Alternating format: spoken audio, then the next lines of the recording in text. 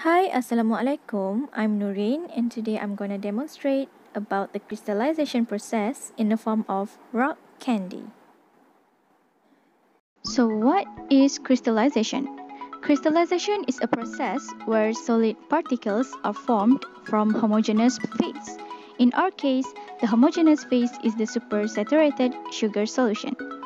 It occurs in ice formation, solid particles formation from liquid melts, snowflakes formation, formation of solid crystals from liquid solution, which is commercialized and the example of this experiment.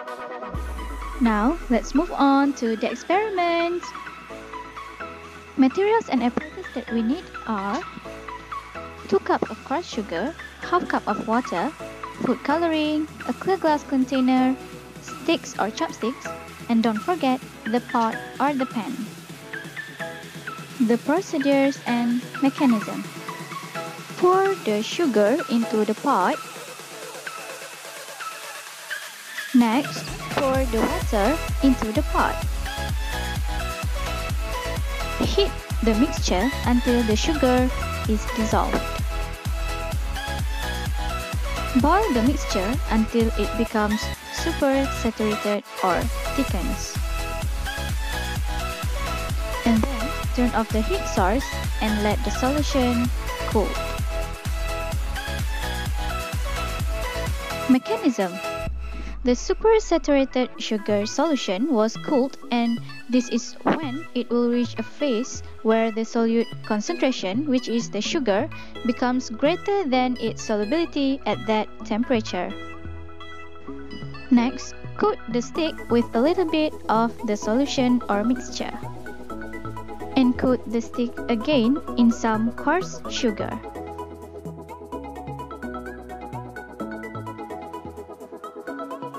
The stick was coated in coarse sugar to act as a nucleation point where the crystal first appeared.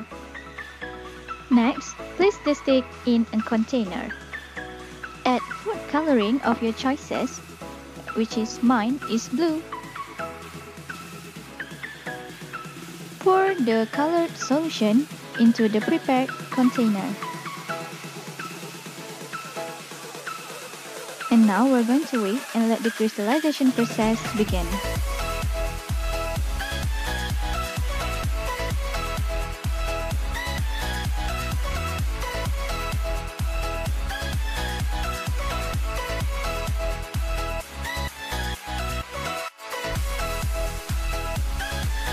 After cooling, then the solute, which is the sugar, comes out of the solution, which is the mixture of water and sugar, forming crystals of approximately pure solute, which is the sugar.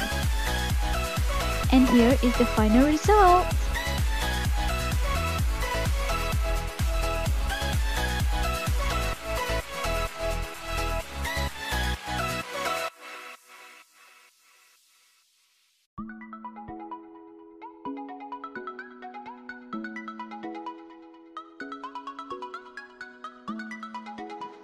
The growth of the crystal may vary depending on various factors such as temperature, type of solution, pressure, and others.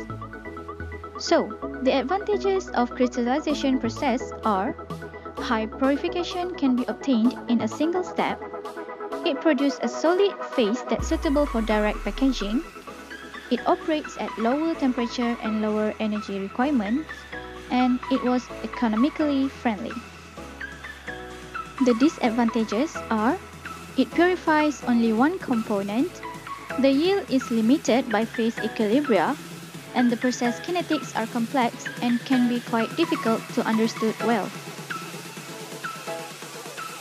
As for the conclusion, crystallization is one of the process that can be used to separate one component from another. It is widely used in the industrial process due to the fact that the process could separate and purifies a component at the same time. We have reached the end of the video and I'd like to thank my lecturer, Madam Rafika Raslan, in her guidance in the making of this video. That's all and I hope you find this video useful And thank you for watching.